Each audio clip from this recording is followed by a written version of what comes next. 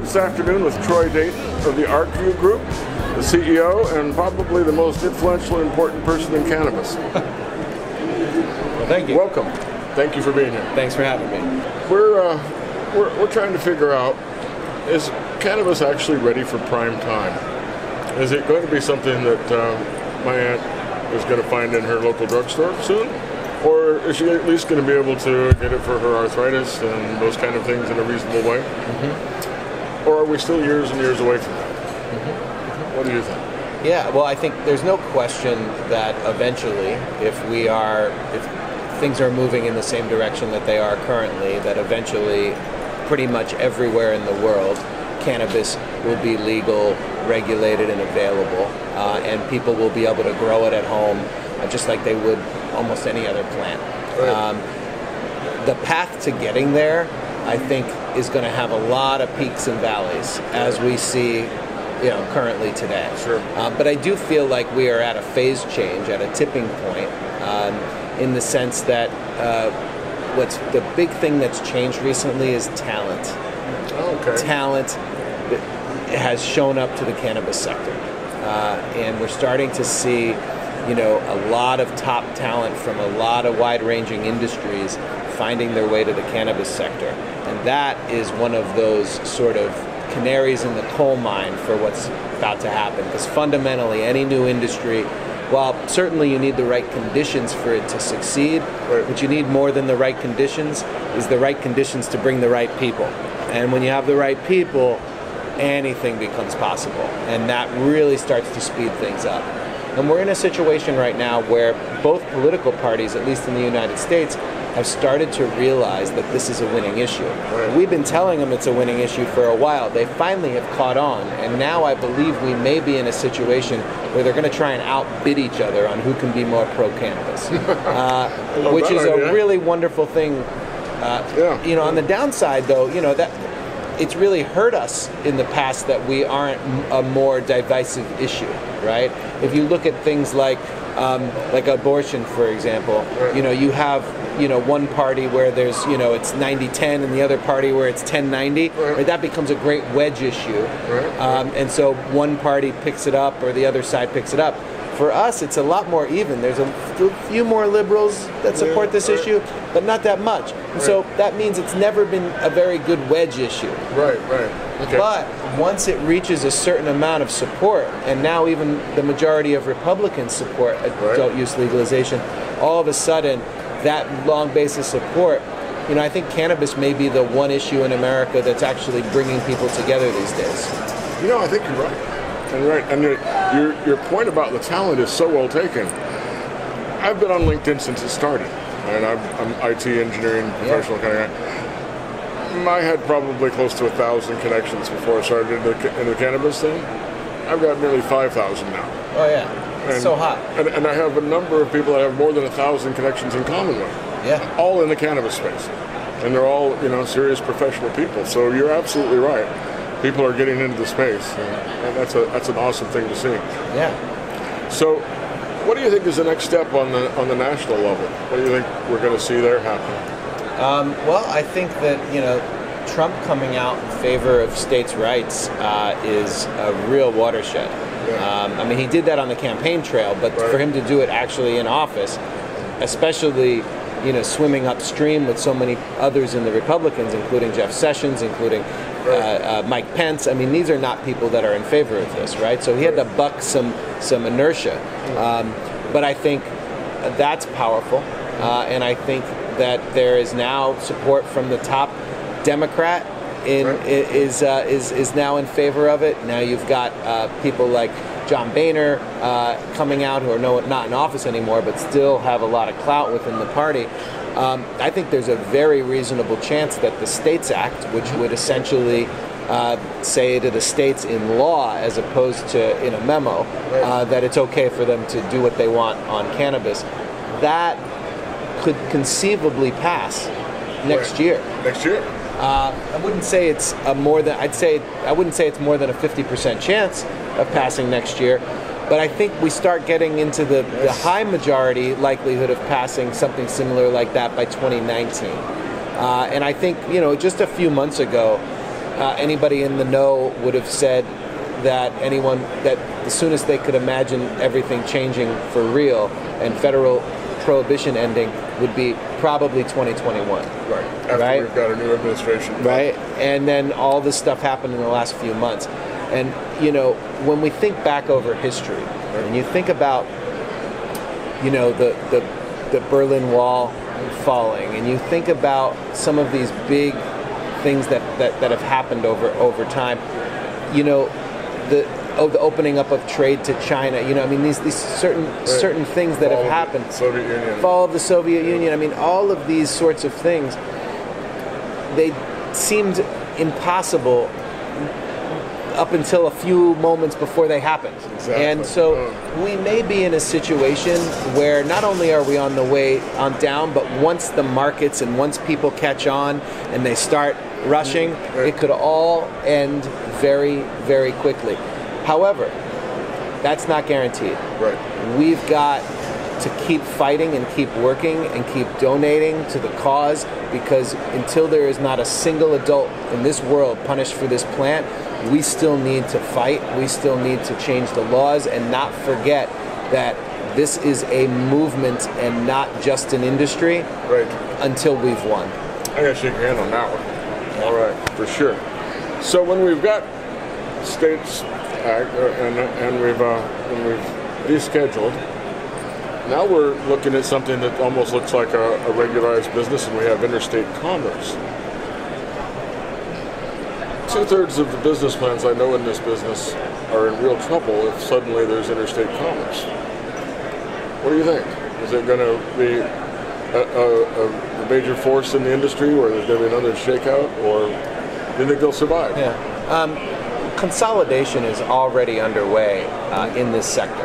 Right. Um, and that's even happening at in small states like Colorado, right? We're seeing a lot of consolidation as, as markets mature, as they get more price competitive.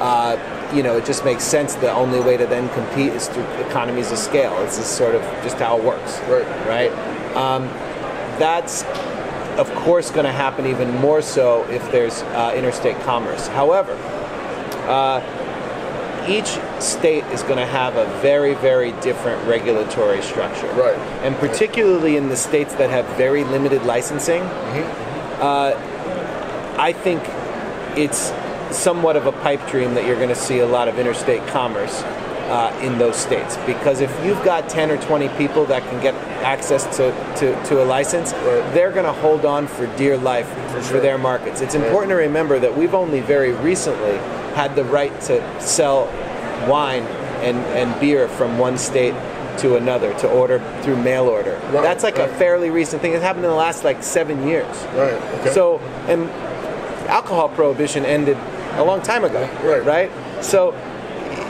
um, I would, I would not, I would never underestimate the willingness of, of a, uh small group of people who has a disproportionate benefit to try and hold on to that benefit as much as they can. Now, I think in the western states, I think you'll see it a lot. It'll happen a lot easier, Right. right? Because uh, because it's a benefit, uh, and, and, and they're structured a little looser, um, and are much more interested in the end consumer and in competing with the illicit market. Right. Uh, and I think some of the eastern states and the states that have those limited licenses are going to be forced to reckon with the fact that their markets are unlikely to compete as well with the illicit market. And if the whole point of ending marijuana prohibition is to be able to re- displace the illicit market, Exactly. then we have to have enough free market to make that possible. Right. right. In Northern California, the growers are they're hurting. Right. I mean, at, at prices at twelve hundred and less a pound, and, and their costs are close to a thousand. There, there- there's not a lot there, and they and they're not even sure they're able to move it. So up there, what they're looking is, boy, the day that it's interstate, we want you all to order our stuff, and they, they expect to see their prices rise. So for a lot of people in that area, that's a that, that's a key issue for them, and it looks like they're going to be, yeah, you know, who knows? The next couple of years, it might actually happen. Yeah. Well, I think you know ultimately um, people are going to need to band together. They're going to have to be in larger facilities. Right. You know, it's important to remember that even the the, the most micro of micro brews that you love is mm-hmm. still grown and, and, and, and brewed in you know a fairly decent sized industrial Right. facility, Yes, right? This, exactly, this isn't yeah. people's backyards. No, you know, yeah, and, and that's the other thing too. In the end of the day, you can grow your stuff at home. I don't know very many people that actually want to consume what they grow at home. Yeah. So it's a nice thing. You can do it. I have a few plants that sit out there. Sure. Yeah, well, part of what I think is going to drive people to the stores also is um, is the variety and the new product development and and and um, brand loyalty is going to drive people uh, into the stores, even if it's at a premium. And there's just some new Absolutely, data that just came out today that, or a couple days ago, that that, that that that in fact is the case that people are willing to pay more if they can have more variety and have a better consumer experience. I know I am, and, and I've already found myself limiting my, you know, uh, okay, I know this brand. You know? Yeah. Papa Barkley, that's what we use. Yeah, Right? yeah. Uh, it doesn't matter what they bring out, patch, but I'm, uh, I'm, I'm buying it. Right? Yeah, totally. And, and, it- and that's like, I'm still experimenting with all of them. I'm saying I want to try them all, but I've already picked some brands. You know? And, and part of the problem is that um, that I think people are missing, and I think from a business perspective they're missing, is that we, if, if there's a premium, then what you're doing is you're you are uh, kind of keeping the market for more affluent individuals, Right. right? Right. And most people in this country are not affluent, and so. Same thing with product development. People are creating so many products, they're all trying to go for that premium, high end consumer. Well, right. guess what? Most consumers aren't premium, high end consumers. Right. So maybe it's not as flashy, but there's probably a whole lot more money to be made uh, reaching that, reaching that, that th- those other strata of, Right. of consumers who right now are, for the most part, not going to the dispensaries because of the added cost. And so we've got to figure out our regulatory schemes and our tax schemes Right. and the product development uh, in a way to figure out how to get a low cost product uh, to the many cannabis consumers who right now are still, uh, you know, going to the, the, the person on the corner.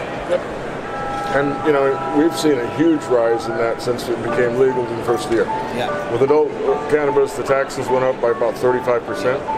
And all of a sudden, everybody I knew that used to sell weed was selling it again. Right, exactly. It's just, right. hey, guess what? But what we do know is that, you know, in Colorado, every single year the, the share of the illicit market goes down and down and down, and it's the lowest one in there. We just put out a new report, our Oh, sixth goodness. edition of the state of legal marijuana markets. It's about this thick, goes super deep into all of the data and all of the trends and all the curves. And one of the things we look at is how well the market is competing with the illicit market Right. in each state. Oh, by state by state. Yeah. So how's California doing? Uh, Off the top of my head, I don't remember, but not as good as Colorado. I wouldn't think so. I don't think so. Because one of the things that they're, they they cite is that there's a over 50%, they say, of California cannabis actually leaves the state. Yeah, I, I, I would believe that.